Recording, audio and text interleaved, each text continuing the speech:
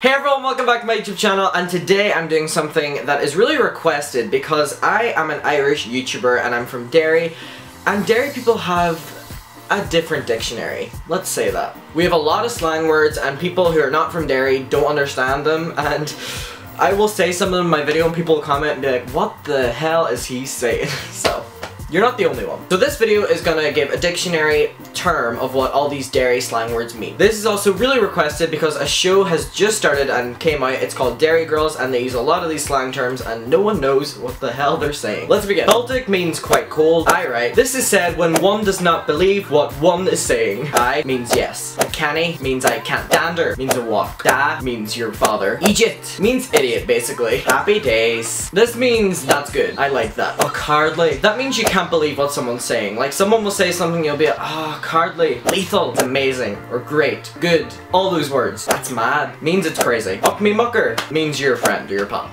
Uck naked means down in one. Uh, oh, nice one means good one. Good try. I'm raging means you're angry. They're well rare. Means they're pretty weird. Sandwich is just a mispronunciation of sandwich. We do it a lot. Shar means shower. Slabber. Someone who talks about you behind your back. We hate a slabber in Derry. Uck they're a spoon means someone with a low IQ. Uckta means thank you. Wayne means a young child. Uck we. We put this before every single word. We as in W-E-E -E, in front of everything. Uck we'll have a wee drink. We'll have a wee dander. We'll have a wee bit to eat. See? Every word. I don't know why we do it, but we do. Uck he's wild looking means he's ugly. And finally, meet. M-E-E-T. Meet means to kiss someone in like a French kissing way. A lot of people of my American friends will be all will say like about they're meeting someone. And I'll be like, get in there, and they're like, what? I'm just like saying hi to them, and I'm like, oh, we have a different meaning of that word. so yeah, it means French kissing if I'm being polite, because I know my parents are watching. Hi mom and dad. So these were just some terms I could think off the top of my head. I hope you enjoyed this video. Don't forget to give it a like, comment, subscribe, and favorite.